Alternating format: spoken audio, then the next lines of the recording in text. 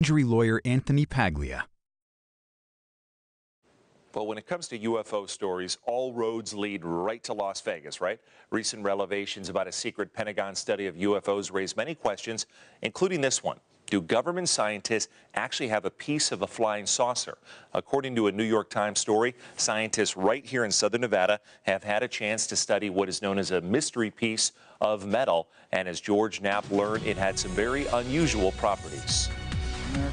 When Nevada Senator Harry Reid and a few colleagues quietly found the funding back in 2007 for a serious Pentagon study of unknown aerial intruders, otherwise known as UFOs, one goal was to move the subject beyond the long shadow of the so called Roswell crash, the controversial tale about a mysterious object that crashed in New Mexico in 1947. If you're here to find out where a little men they found in New Mexico after World War II where they're stored in some vault someplace, or you want to, you want to spend your time here talking about uh, flying saucers that took people someplace.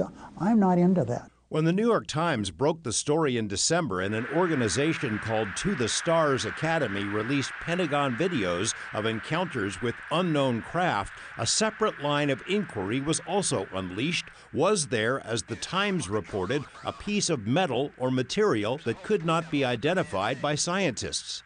For three years, a private organization named BAASS, headquartered at Bigelow Aerospace in North Las Vegas, collected and analyzed UFO files and data on behalf of the Defense Intelligence Agency, or DIA.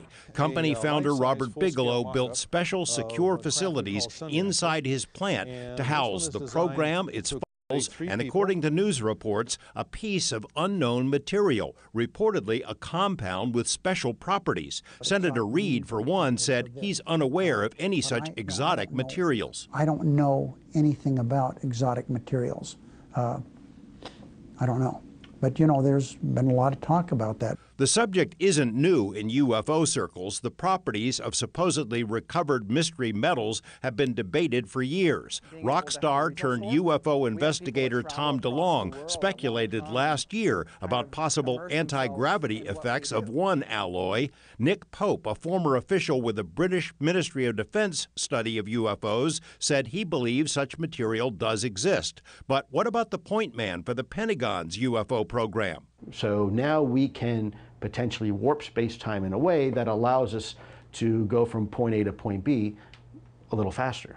Question is, do we need special materials? And you know where I'm heading with that question because it, you've been asked that a bunch of times. Well, I, I think special materials is, is for anything you do. I, look, I, I build cars as a hobby, and I know that if I want to have a really strong transmission, I probably want parts of that transmission made out of titanium maybe not just regular steel alloy, right? So, so you, everything in life requires special material. Lou Elizondo is the person most directly responsible for the public release of the now ubiquitous videos, the so-called gimbal UFO and the Tic Tac encounter. He thinks these craft are able to bend space and time with a technology beyond anything known on Earth. But is this technology dependent on mystery metal, and did the U.S. have a piece of it at the Bigelow plant? Sadly, I, I can't discuss that because I'm no longer employed by the U.S. government. That's something you would have to ask ask the U.S. government.